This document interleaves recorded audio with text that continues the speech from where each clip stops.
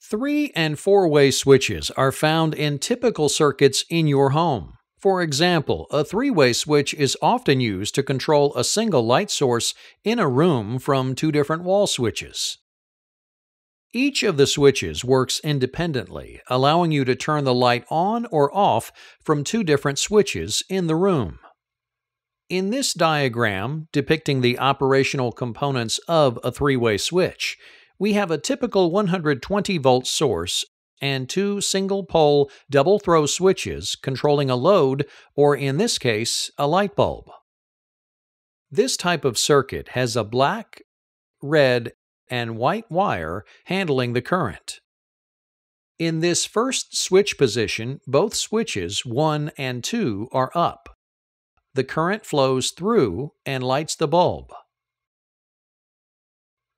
If you place switch 2 in the down position while switch 1 remains in the up position, the circuit is broken and current does not flow to the light bulb.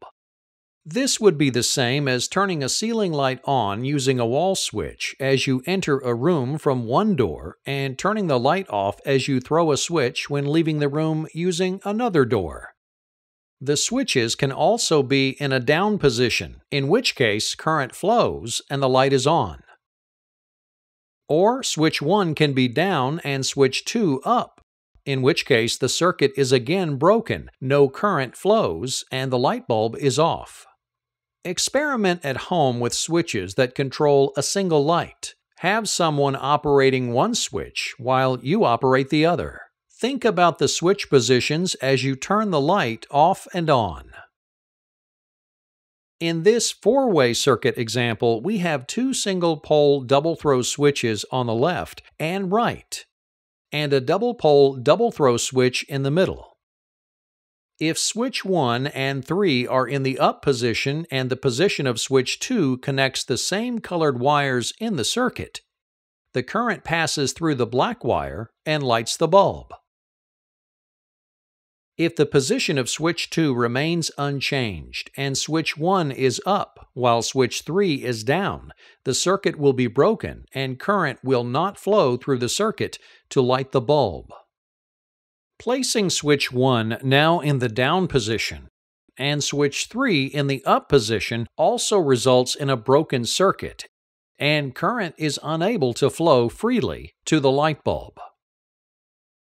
If we keep switch 1 and 3 in the same positions and throw switch 2 into the crossover position, a complete connection is once again established and current flows through the red wire to the black wire to power the light bulb. If we change the position of both switch 1 and 3 while switch 2 remains in the crossover position, the current will still flow this time from the black wire to the red wire to complete the circuit and light the bulb. Finally, keeping switch 2 in the crossover position while placing both switch 1 and 3 simultaneously in either the up or down positions will break the circuit.